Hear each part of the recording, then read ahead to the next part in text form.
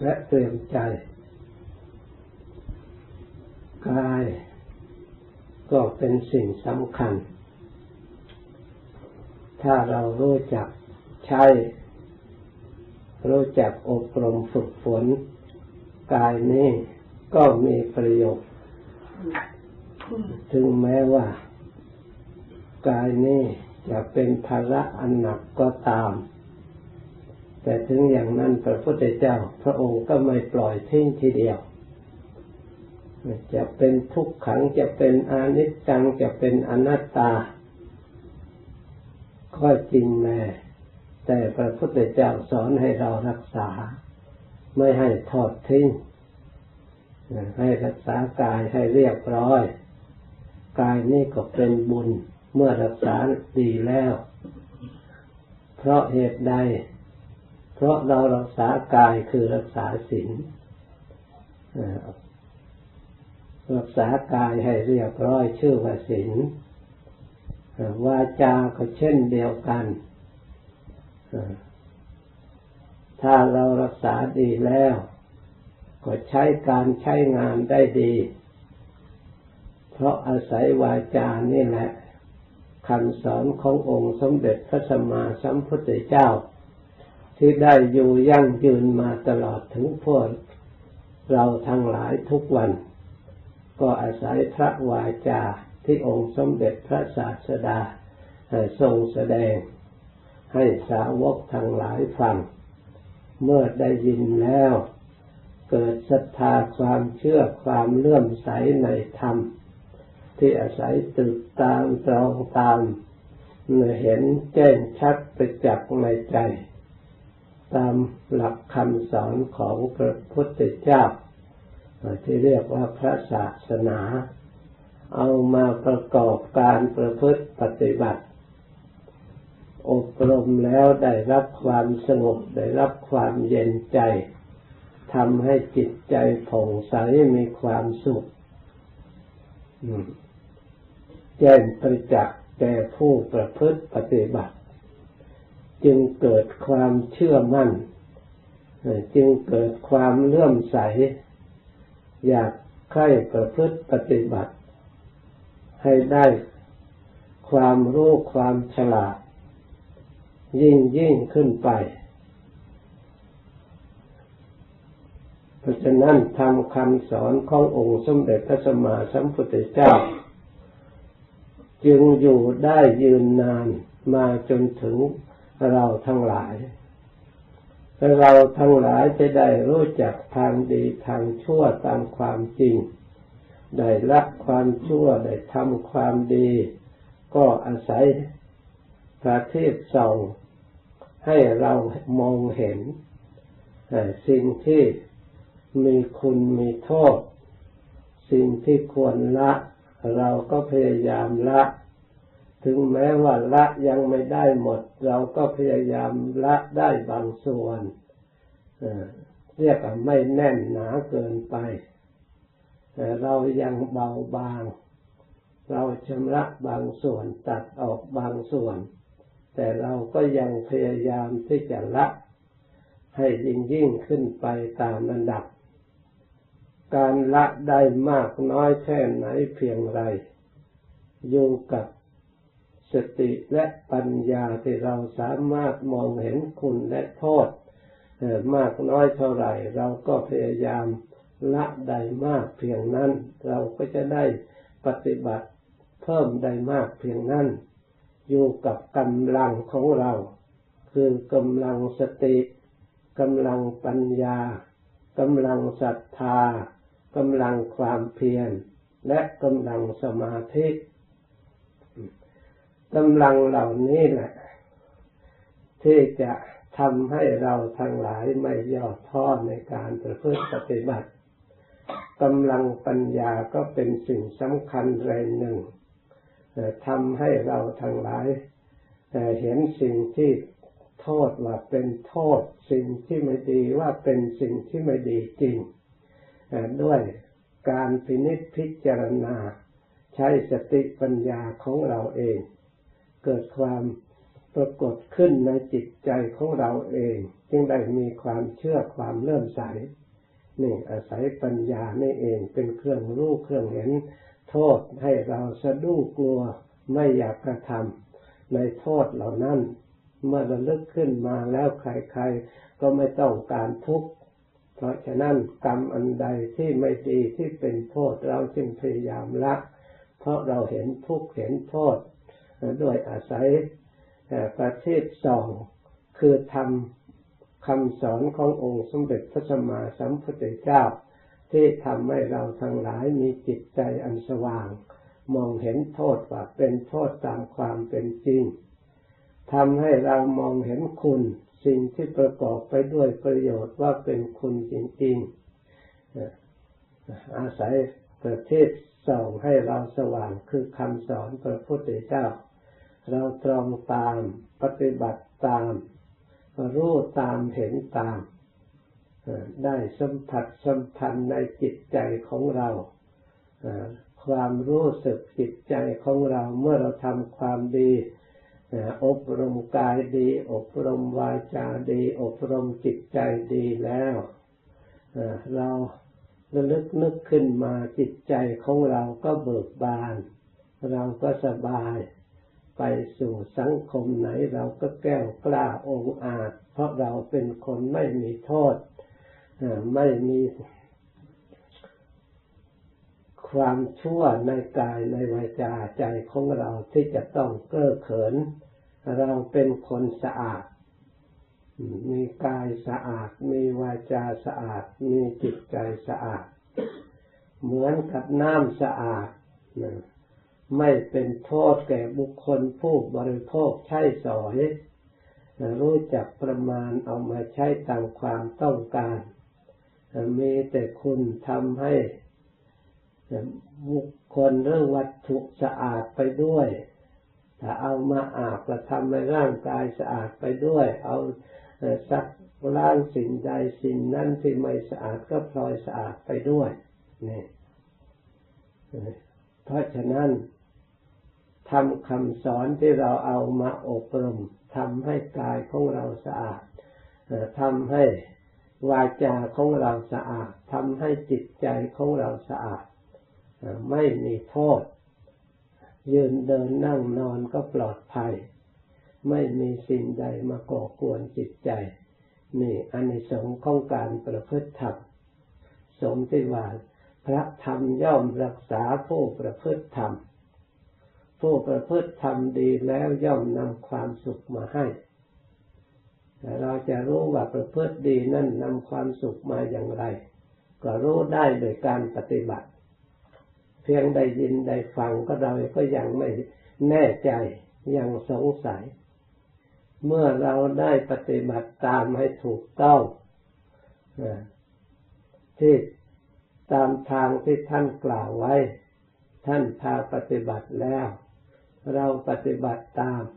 ถูกต้องแล้ว เราก็จะได้ประสบพบเห็นตามที่ท่านกล่าวไว้ เราปฏิบัติกายดี เราก็เห็นความดีในกายของเรา เพราะเราไม่ได้ทำใครให้เดือดร้อนโดยกาย ไม่ได้เบียดเบียนบุคคลอื่น ไม่ได้เบียดเบียนสัตว์อื่น เราตั้งพยายามทำความดี ชักชวนคนอื่นทำความดี เป็นเยี่ยงอย่างในทางที่ดีเผยหลักธรรมคำสอนพระพุทธเจ้า ให้ปรากฏออกมา ให้เห็นความดีทั้งเราด้วยทั้งบุคคลอื่นด้วย นั่นความดีมีจริง นี่เรียกว่าบุญมีจริง ๆ ไม่ใช่สักแต่ว่าพูด บุญเป็นตัวอย่างไร บุญก็เป็นชื่อของความดีที่ท่านเรียกว่าบุญ เป็นชื่อของความสุขที่เกิดขึ้นจากการปฏิบัติดี กุศลเป็นอย่างไร กุศลธรรมที่ยังจิตใจของบุคคลให้ฉลาด ให้รู้จักเลือกทำแต่สิ่งที่ดีมีประโยชน์ เลือกทางปฏิบัติ ทางไหนผิดทางไหนไม่ดีทางไหนมีทุกข์มีภัยเป็นอบายามุขเป็นทางเสื่อม เราก็เลือกหลีกเว้น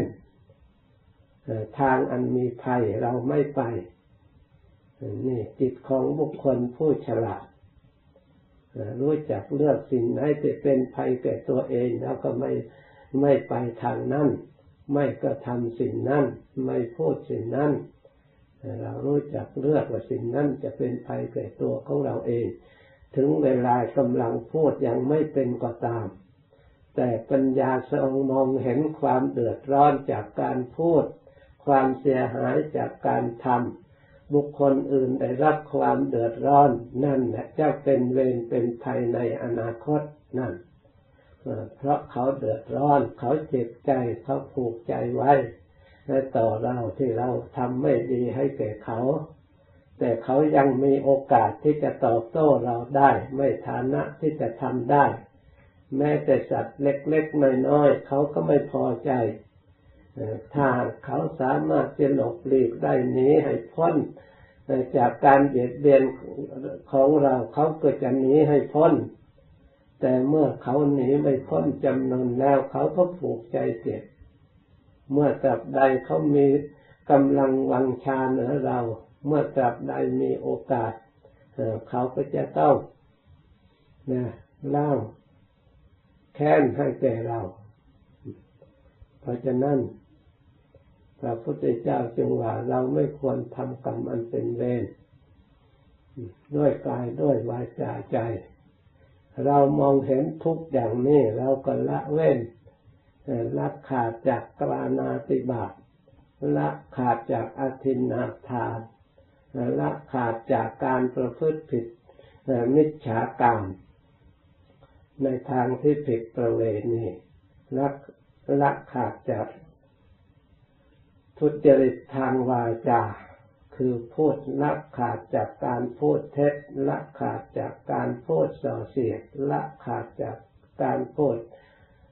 เพอเจอละขาดจากการพูดคำหยาบเพราะการพูดเท็จพูดเส่าเสียพูดคำหยาพูดเพ้อเจ้อเหล่านี้ล้วนเป็นไหวจีทุจริตในทางที่ไม่ดีที่ประเทศจะทำเป็นของที่ไปแต่ก็เป็นใจฉะนั้นใจชาติแต่นั้นได้รับละไม่ใช่ไม่ใช่จำเรียกจำเรียงมันสอนคนอื่น ท่านท่านเป็นวัดสอนนะที่สอนจะสอนตาสอนวาสอนใจสอนใจของท่านสอนตาสอนตาสอนเขาจะพระโอพระโอโอ้พระองค์บังเกิดบังเกิดแล้วคุณเราดูให้บังเกิดแล้วคุณรักรักรักพระองค์เด็ดได้เด็ดขาดที่ส่วนที่พระองค์เป็นหนาท่านร้อนพระองค์แสนได้แล้วพระองค์พระองค์ไม่ใหญ่ไม่โอ้ไม่โอ้ไม่ออกมาสอน โอ้ไอโอได้รับผลจากทางและทานและอาการว่าว่าเป็นสุนทรบริสุทธิ์มีพระสติทางไรจิตใจขับเสียเพื่อเสียเพื่อเสียผักเพื่อจิตผักจิตจิตจิตครับถึงรับเงินไปถึงให้เราให้เราให้เพื่อให้เพื่อได้ได้ดาบเมตตาใครพระองค์เมตตาสงสารเราเพื่อจะให้เราทั้งหลายพ้นจากเวรจากภัยเป็นคนไม่มีเวร เวรไม่มีภัยอยู่ที่ไหนก็ได้รับความสุขได้รับความเย็นใจ เพราะการประพฤติดี เหมือนกับเราอยู่ด้วยความเย็นใจในปัจจุบัน เพราะเราประพฤติชอบตื่นมาแล้วก็ จิตใจของเราก็มีแต่ทำแต่ความระลึกแต่เรื่องดีทำแต่ความดีที่มีประโยชน์ ในชีวิตประจำวัน กายก็ประกอบแต่กรรมอันเป็นกุศลวาจาก็ระลึกแต่สิ่งพูดแต่สิ่งที่สิ่งชอบนะเมื่อเราระลึกขึ้นมาแล้วเราก็เชื่อในความดีของเรา ว่าเราไม่ตกต่ำว่าเราไม่ไปนรกแน่นอนเราเพราะเราไม่ได้ทำกรรมอันลามกที่จะเป็นเหตุให้ ตกไปในอบายภูมิทั้งสี่คือมีนรกเปรตสัตว์เดรัจฉานอสุรกายเหล่านั้นผู้ที่จะคติของสัตว์เหล่านั้น ล้วนแต่เป็นคติที่หยาบที่อาศัยกรรมผลของกรรม ที่เขาได้กระทำไม่ดีไว้แล้ว เขาจึงได้ไปสู่ที่คติไม่ดีเรียกว่ากรรมเป็นผู้ให้ผล กรรมเป็นแดนเกิดนั่นถ้าเขาทำไม่ดีไว้ความไม่ดีเป็นแดนเกิดเป็นที่เกิดของเขาเป็นสถานที่อยู่ของเขาคือสถานไม่ดีคืออบายกรรมเป็นผู้ติดตาม เมื่อเขาทำไม่ดีแล้วเวรภัยอันเป็นสิ่งที่ไม่ดีเขาจะต้องได้รับ ก็ต้องติดตามอำนวยผลให้เขาได้รับอยู่เสมอตลอดไป เมื่อกรรมยังไม่สิ้นตรัสใด บุคคลนั้นจะต้องได้รับผลอยู่อยู่ร่ำไป มีกรรมเป็นกำเนิด มีกรรมเป็นที่พึ่งอาศัยนั่นเขาไปเกิดในสิ่งที่ไม่ดีแล้วเขาก็ได้สิ่งที่ไม่ดีเหล่านั้นเป็นที่อยู่ที่อาศัยของเขาให้ได้รับความกระทบกระเทือนใจทุกข์ใจอยู่ตลอดเวลา เหมือนกับคนไปลักขโมยฆ่าเขาแล้ว ถึงแม้ว่าจะมีบ้านบ้านใหญ่โตสร้างไว้ดีเท่าไหร่ก็ไม่ได้อยู่ กลับไปนอนอยู่ในห้องขัง อันเป็นสถานที่สกปรกสถานที่ไม่อิสระนั่นเพราะอะไรเพราะผลกรรมนี่นรกในเมืองมนุษย์ เมื่อละขันอันนี้แล้วนรกในยมโลกก็มีจริง ๆ ไม่ใช่สักแต่กล่าว เพราะคติของบุคคลจะต้องไป เพราะสัตว์เดรัจฉานก็มีจริงจะอยู่ในโลกเดียวกันเนี่ยก็ไปจากกรรมที่ทำไม่ดีเขาจึงเกิดเป็นสัตว์เดรัจฉาน เพราะเหตุนั้นเรามีศรัทธาความเชื่อ เพราะรู้ความจริงตามธรรมคำสอนพระพุทธเจ้า เราจึงได้ละสิ่งที่ไม่ดีได้เด็ดขาดแล้วทำแต่สิ่งที่ดี ผลของความดีก็ย่อมปรากฏขึ้นในจิตใจของเรา ย่อมเห็นชัดในจิตใจของเรา ด้วยปัญญาอันมีความเห็นชอบที่เราได้ประกอบการฝึกหัดอบรมยิ่งจิตใจได้อบรมสงบละเอียดมีความสุข เป็นสมาธิมากเท่าไรจิตพองใสยิ่งเห็น ยิ่งรู้มากขึ้น กว้างขวางขึ้นตามลำดับ ยิ่งมีความเคารพความเลื่อมใสอย่างหนักแน่นมั่นคง เรียกอาจารย์ละศรัทธาศรัทธาเชื่อมั่นไม่งอนแงนคลอนแคลนเป็นศรัทธาที่มั่นคง ปฏิบัติเสมอด้วยชีวิต ชีวิตมีอย่างเหลือประมาณเท่าใด ก็อธิษฐานใจอยากจะทำความดีประมาณเพียงเท่านั้น จนชีวิตจะหาไม่ เพราะขึ้นชื่อว่าความดีแล้ว ย่อมอำนวยผล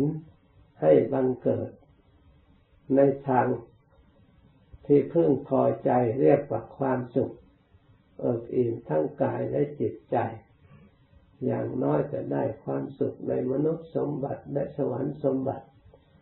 ถ้าเรามีจิตศรัทธายิ่งขึ้นไปแก่กล้าก็ได้ถึงพระนิพพานสมบัติ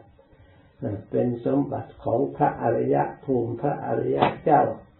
ของพระพุทธเจ้าทั้งหลายที่พระองค์ได้พระองค์ถึง ซึ่งพระนิพพานคือความดับทุกข์ดับโศกโรคภัยทั้งหลายทั้งปวงไม่มีได้ถึงซึ่งความสุขอย่างยิ่ง เรียกว่านิพพานังปรมังสุขขังพระนิพพานนั้นเป็นความสุขอย่างยิ่ง มันพ้นจากความปรุงความแต่งพ้นจากความแก่ความเจ็บความตาย ความเศร้าโศกอะไรร้องห่มร้องไห้พลัดพรากจากกันไป อย่างนี้ไม่มีในเมืองพระนิพพาน เมืองพระนิพพานเป็นเมืองที่สงบอย่างยิ่ง มีความสุขอย่างยิ่ง ความสุขเพราะเหตุใด ความสุขเพราะปัญญาได้จากปัญญาที่เรา มีศรัทธาอบรมจิตภาวนาสมาธิจะได้พระนิพพานได้ทางปัญญาอย่างเดียวไม่ได้โดยการซื้อการขายโดยการลงทุนอย่างอื่น พวกทางโลกเขามีทุนหลายสิบล้านหลายร้อยล้านเพื่อจะหาความสุขเพื่อจะหาไปพระนิพพานเขาพยายามเที่ยวหาความสุขไปโลกพระจันทร์เขาไปแล้ว กำลังไปโลกพระอังคารไปโลกอย่างอื่นอีกตามระดับ เพื่อจะให้ได้ความสุข ผลที่สุดไปมาก็มาอยู่ในมนุษย์นี่มาตายอยู่ในมนุษย์นี่แหละ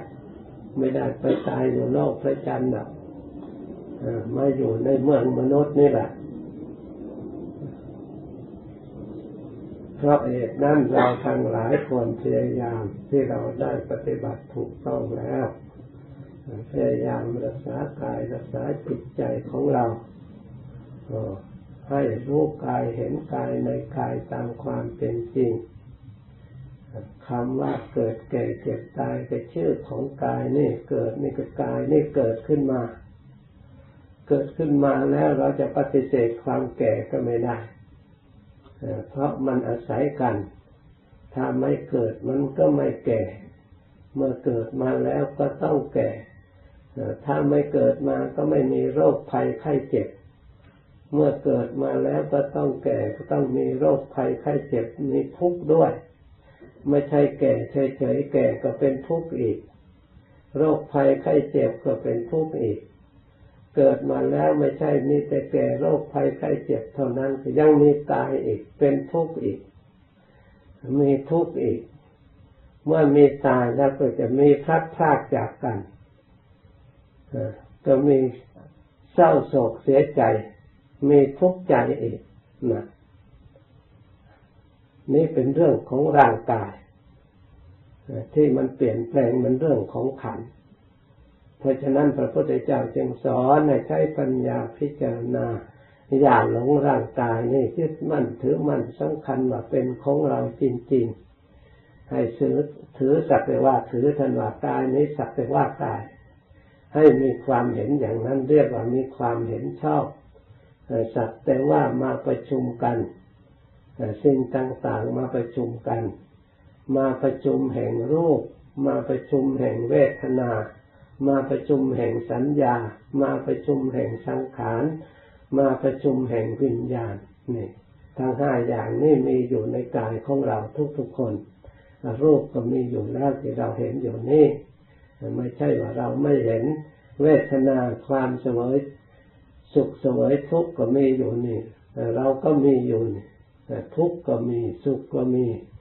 นี่เป็นเวทนา โสมนัสก็มีโทมนัสก็มี ความสุขความทุกข์ที่ได้ความเจ็บปวด หรือเจ็บปวดหายไปได้ความสุขได้สัมผัส ให้เกิดความสุข สิ่งเหล่านี้ท่านเรียกว่าสุขทางกาย เวทนาทางกายเรียกกายาเวทนา ส่วนเวทนาทางจิตท่านเรียกว่าทุกข์ก็คือโทมนัสก็คือความน้อยใจ ความขับแค้นใจ ความเศร้าใจ ความมัวหมองในจิตใจ นี่เป็นความทุกข์ทางใจ ความสุขทางใจคือโสมนัสจิตยินแย้มแจ่มใสเบิกบานสิ้นบาน ปลอดโปร่งในจิตในใจนี่เรียกว่าเป็นเวทนาทางใจ เพราะฉะนั้น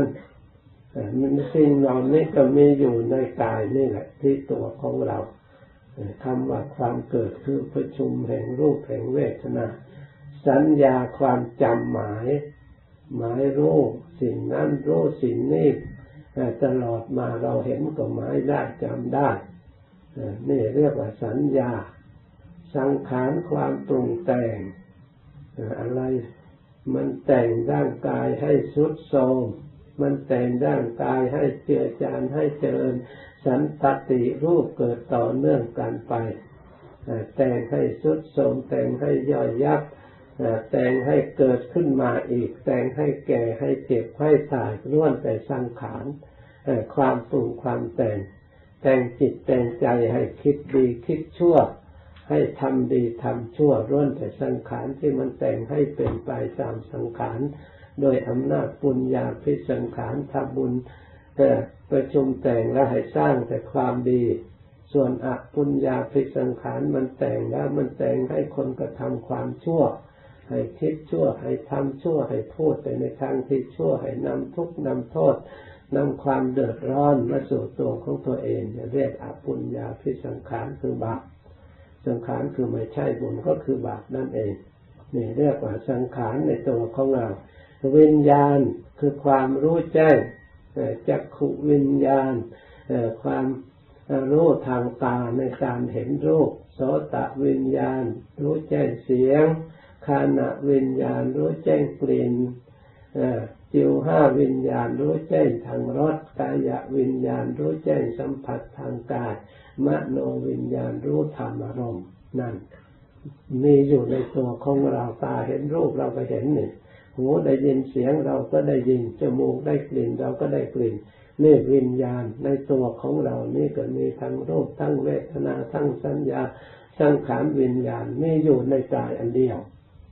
เมื่อมีอยู่เหล่านี้เราก็มาพิจารณาอันใดเล่ามัน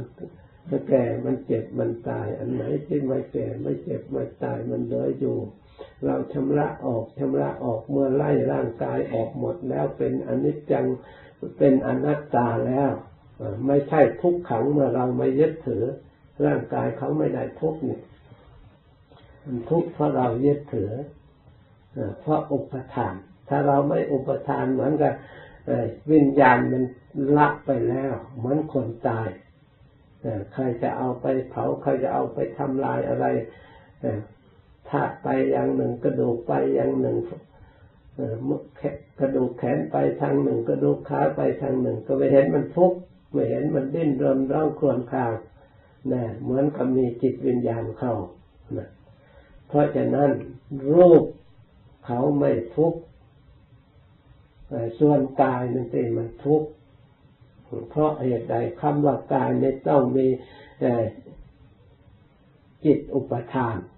จึงได้เรียกว่ากาย มีใจครองใจหงแหนใจยึดถือว่าเป็นตัวเป็นตนเป็นของตนจึงมีทุกข์ถ้าใจปล่อยทิ้งสละทิ้งวิญญาณไปปราดแล้ว เหมือนกับท่อนไม้ท่อนฟืนที่อยู่ในป่าใครจะเอาไปผ่าไปตัดไป เผาไปทำอย่างไรก็ทำได้ชอบใจ เพราะฉะนั้น เราพิจารณาให้รู้ความจริงสิ่งไหนตายก็แยกออกแยกออก ยังเหลืออะไร ยังเหลือใจผู้พิจารณาเราก็ดูใจเองใจเป็นอย่างไร ใจเศร้าหมองหรือใจบริสุทธิ์ ใจคิดดีหรือไม่ดี ใจสงบหรือไม่สงบเราก็จะได้เห็น ใจนี่ต้องการอะไร เราก็จะได้รู้ ใจนี่ความสุขของใจไม่มีอะไร มันต้องการความสงบเท่านั้นแต่ใจได้รับความสงบมันยิ่งเบิกบานยิ่งผ่องใส แต่ใจนี่ไม่ได้รับความสงบเพราะอะไร เพราะไม่มีเบิกบานยิ่งผ่องใส แต่ใจนี้ไม่ได้รับความสงบเพราะอะไร เพราะไม่มี ที่พึ่งไม่มีสิ่งที่ไปช่วยเหลือ ถ้าเรามีสติไปช่วยเหลือ มีปัญญาช่วยเหลือแล้วใจจะสงบทันทีใจจะมีกำลังผ่องแผ้วในจิตในใจผ่องใสขึ้นมา ใจไม่ต้องการอาหารเหมือนกับร่างกายอย่างอื่น จะต้องทำการงานจะต้องหาเงินหาทองหาบ้าน หาช่องหาการหางานเพื่อให้ร่างกายนี้อยู่ได้ ส่วนใจไม่ต้องไม่เกี่ยว ได้ต้องการความสงบอย่างเดียว ถ้าได้รับความสงบในใจพอใจแล้วนะเพราะฉะนั้นพระพุทธเจ้าพระองค์เห็นแตกต่างความสุขของกายและของใจมันผิดกัน ความสุขของกายอาศัยปัจจัยสี่ปัจจัยสี่จะได้มาก็ทุกมันเผาจนหมดกำลังใจแล้ว กว่าจะได้ความสุขนิดนิดหน่อยหน่อยมีแต่ความทุกข์เสียมาก ท่านจึงว่าพาหุทุกโขโคอายังกายโยพาหุอาทินทินนโวกายนี่มีทุกข์มากท่านว่ามีโทษมาก เพราะเป็นภาระมากกว่าจะอยู่ได้ เราทั้งหลายต่อสู้ตะเกียบตะกายทุกวันเพื่อให้กายนี้อยู่ได้กระทบกระเทือนทั้งโลกทั้งแผ่นดินอยู่วุ่นวายอยู่ในโลกเพื่อในชีวิตเกี่ยวกับความสุขในทางกาย ส่วนความสุขในทางใจไม่ต้องดิ้นรนยิ่งดิ้นรนยิ่งทุกข์มานั่งเฉยๆก็ได้ความสุขเพียงพอไม่ต้องทำอะไร เพียงแต่ปล่อยเพียงแต่วางเพียงแต่สละ ละวางให้หมด ยิ่งสละเท่าไหร่ยิ่งได้ความสุขเรื่องร่างกาย ส่วนเรื่องจิตใจ ส่วนร่างกายไม่เป็นอย่างนั้น มีแต่หอบมีแต่กอบโกยมีแต่สะสมจึงได้ความสุข ถ้าสละแล้วก็ยิ่งอยู่ไม่ได้ในเรื่องการผ่องใสยิ่งสงบยิ่งมีความสุขมันผิดกัน อาหารทางใจ เพราะฉะนั้นเราควรเราควรรักษาใจละอันความสุขอันอยากอันเป็นกากคือร่างกายเสียเอาแกนนั่นคือจิตใจที่มันหลุดพ้นจากขันห้านนั่นวิมุตติหลุดพ้นเรียกว่าแกนนะจิตเป็นแกนได้ความสุขที่แท้จริง เพราะฉะนั้นเมื่อเราทั้งหลายได้ยินได้ฟังแล้วกำหนดจดจำไว้ดี แล้วมาพิจารณาดูกายของเราตามความเป็นจริง เมื่อเรารู้กายความเป็นจริง แล้วเราก็จะได้รู้จักจิตใจของเรา เป็นอะไรต่ออะไรเราก็จะได้ความสงบความเย็นใจดังความสุขดังบรรยายมาสมควรแก่เวลาสมมติยุติเพียงเท่านี้ ต่อจากนี้ตั้งใจภาวนาต่อไปอีก สมควรแก่เวลาและจงคอยเลิกพร้อมกัน